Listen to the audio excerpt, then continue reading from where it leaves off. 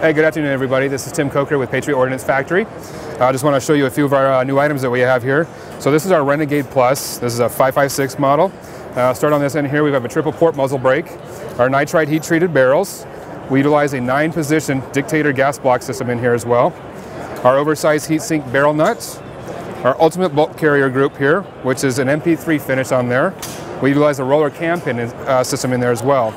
Our lower receiver here is 100% ambidextrous, so you can use all your controls from either side, the left or the right.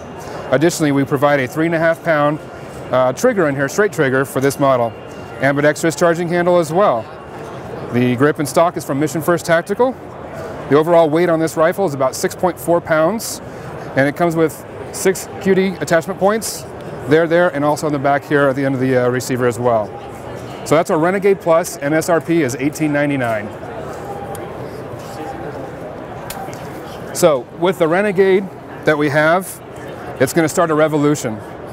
So basically, same dimensions and overall configuration as the Renegade Plus, but we have that in a 308 rifle.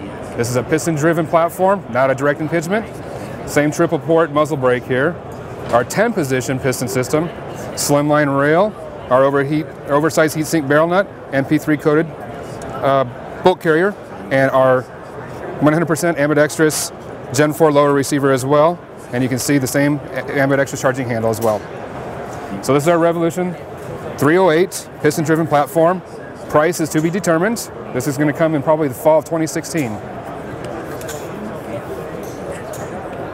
And then lastly, we have a 300 Win Mag here from Patriot Ordnance Factory as well too. You can see we have the oversized triple port muzzle brake, a 10 position piston driven platform as well.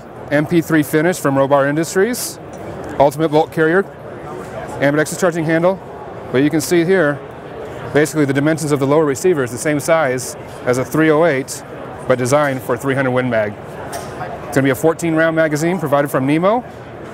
MSRP on this is $34.99 and we'll probably start shipping in sometime April 2016. So if you want to find out more, go to Patriot Ordnance Factory, go to our website, at pofusa.com. Thanks.